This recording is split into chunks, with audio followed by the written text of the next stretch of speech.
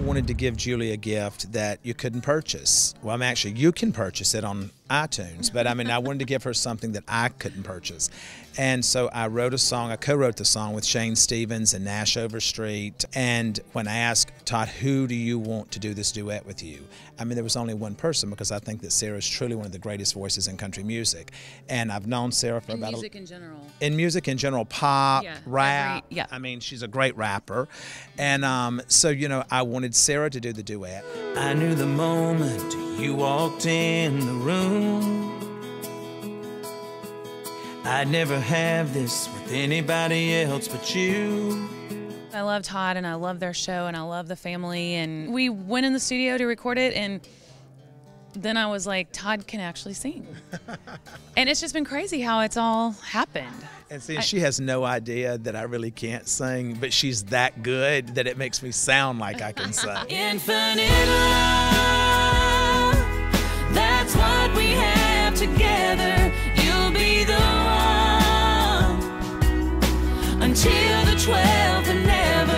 Honestly, I mean, I wouldn't have done it if it wasn't a great song. But they they wrote a cool song and it's actually very beautiful and it's you know like Todd said he, he put in all the thoughts that he had about Julian that he wanted to express to her for her birthday. No time in my life did I ever believe that I would have a top 10 single or that I would ever have participated with anything involving Sara Evans or any other huge country star.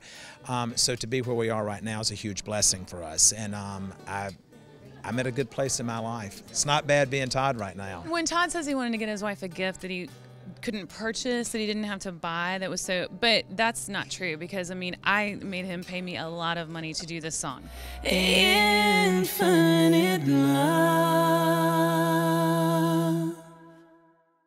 I'm Kimberly. I'm Reid. And I'm Neil. We are The Band Perry. and you're watching Sounds Like Nashville.